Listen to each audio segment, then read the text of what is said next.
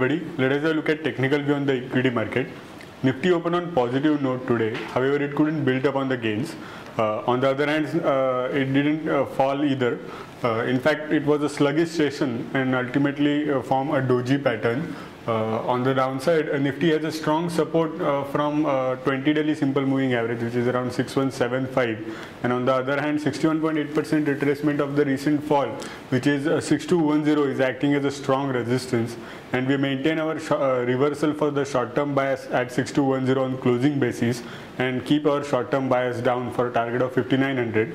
Uh, the level is close to crucial weekly moving averages, that is 20, uh, 20 week simple moving average and 40 week exponential moving averages are lying near 5900, which is our short term target.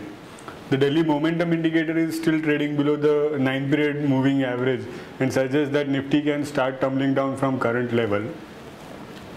On hourly chart, we can see that Nifty has retraced exactly 61.8% of the recent fall and uh, is trading near that uh, crucial Fibonacci level. So it can form some sort of uh, distribution pattern, uh, an ending diagonal of a small degree at this level before falling down. However, uh, we expect uh, next leg to be on the downside.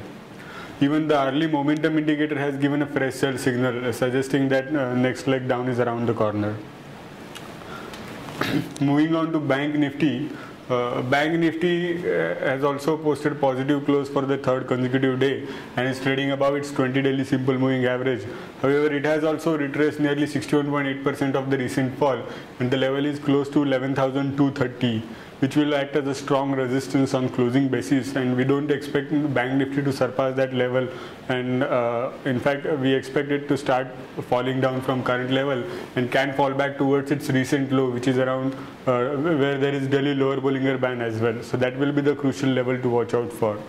Even uh, daily momentum indicator is in bearish mode in case of bank nifty as well crucial supports are 11100 and 10775 the crucial resistances are 11,350 and 11,600. Now we'll have a look at a couple of stocks which are showing bearish setups. First one is Reliance Infra. Uh, Reliance Infra has broken a medium-term rising trend line and is trading near its crucial daily moving averages. Structurally, it has formed a fourth wave pullback and can start fifth leg on the downside. Today's negative daily close suggests that the fifth leg down has already begun and the daily momentum indicator is in line with the uh, uh, wave structure suggesting that uh, further downside potential is there.